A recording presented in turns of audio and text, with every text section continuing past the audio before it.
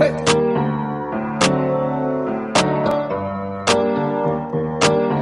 मेरा नाम है शौर कौशिक। आपका स्वागत है हमारे यूट्यूब चैनल पे। फ्रेंड्स आज मैं आप लोग के लाया हूँ एक वायरलेस कीबोर्ड और माउस का सेट जो है आईबॉल कंपनी का, जिसका प्राइस एट्टीन हंड्रेड रुपीज़ है।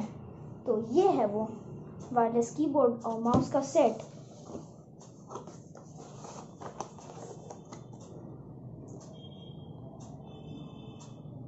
तो इसको आप लोग देख सकते हैं। इसका प्राइस इसमें लिखा है एट्टीन हंड्रेड रुपीज़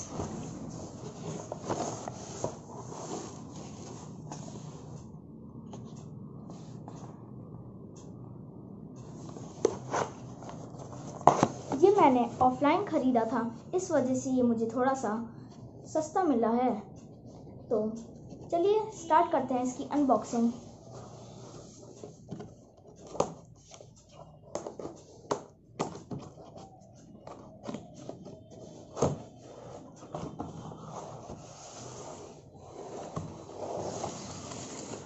फ्रेंड्स हमें मिलता है एक कीबोर्ड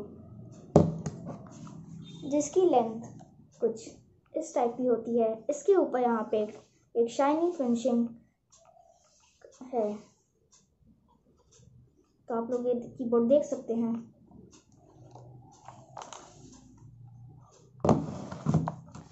और और हमें इसके साथ मिलता है एक वायरलेस माउस का सेट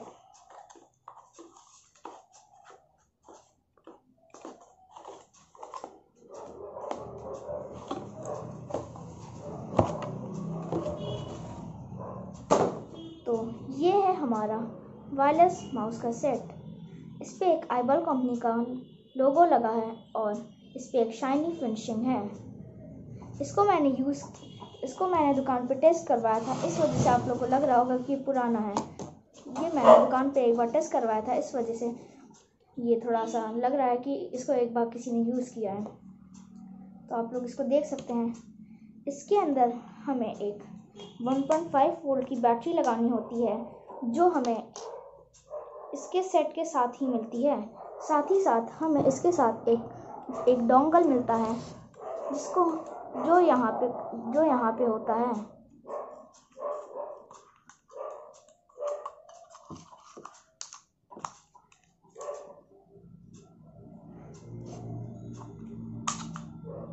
तो ये होता है वो डोंगल। सारा काम पूरा कीबोर्ड और माउस का इसी का होता है। ये खो गया तो समझ लीजिए आपका कीबोर्ड और माउस का बाड़ा है। तो ये देखिए, ये है इसका डोंगल डोंगल यूएसबी इसमें हमें एक 1.5 वोल्ट की बैटरी लगानी होती है और कीबोर्ड में भी हमें एक 1.5 वोल्ट की बैटरी लगानी होती है यहाँ पे। तो इसके साथ हमें दो, तीन बैटरीज मिलती हैं जो होती हैं ड्यूरासेल कंपनी की। दो कीबोर्ड के लिए और एक माउस के लिए। तो पहले हम लोग डालते हैं माउस में।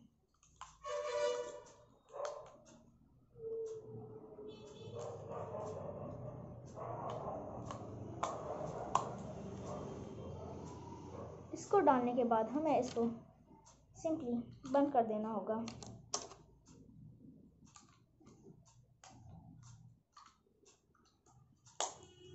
और फिर यहाँ पे हमें एक छोटा सा ऑन ऑफ़ का स्विच मिलेगा। फिर जैसे हम इसको ऑन करेंगे, इसमें एक रेड लाइट जलेगी। मैं आप लोग को एक बार फिर से दिखाता हूँ। कुछ इस तरीके से एक रेड लाइट जलेगी मतलब ये ऑन हो चुका है। और कुछ इस तरीके से हमें इसमें सेल डालने होंगे।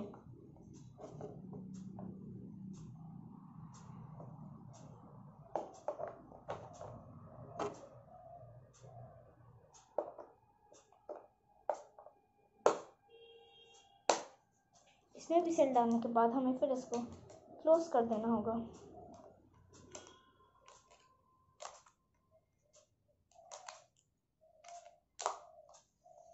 इसको क्लोज करने के बाद आप अब सोचेंगे कि इसको तो बस हम लोग लैपटॉप से कनेक्ट कर सकते हैं, पर ऐसा बिल्कुल नहीं है। इसको हम लोग अपने मोबाइल के साथ भी कनेक्ट कर सकते हैं। इसको कनेक्ट करने के लिए हम लोग को चाहिए होता है एक एक ओटीजी कनेक्टर ये आप लोग को ऑफलाइन बहुत ही मिल जाएगा।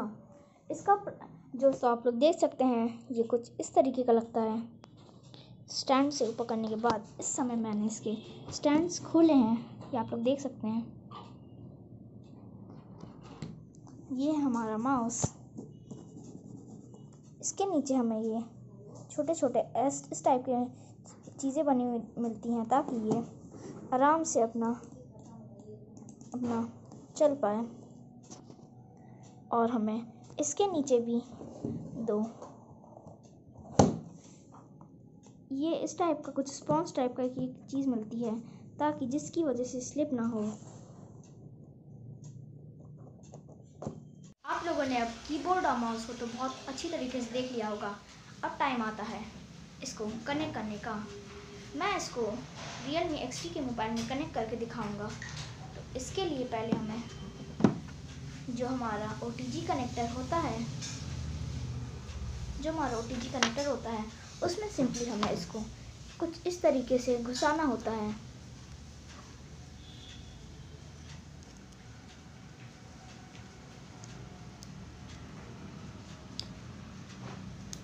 हम्म, कुछ इस तरीके से। यहाँ पे कुछ भी गड़बड़ हुई तो समझ लीजिए आपकी सब कुछ गया। तो उसके बाद हमें, उसके बाद हमें सिंपली अपने मोबाइल में, अपने सिंपली ये ओटीजी कनेक्टर को हम लोग को जाके इसमें, जहाँ पे हम लोग अपनी चार्जिंग का चार्जिंग की केबल लगाते हैं, वहाँ पे हमें इसको लगाना होगा। वहाँ पे लगाने के बाद वहाँ पे लगाने के बाद अब आप मैं अपनी स्क्रीन शेयर कर रहा हूँ। सेटिंग्स में तो आप लोग वहाँ देख सकते हैं। खोल कर हमें सिंपली नीचे स्लाइड करना होगा और जहाँ पे हम लिखा होगा एडिशनल सेटिंग्स वहाँ पे एक हम लोग को एक ओटीजी कनेक्शन का ऑप्शन मिलेगा जिसको हम लोग को सिंपली ऑन कर देना होगा।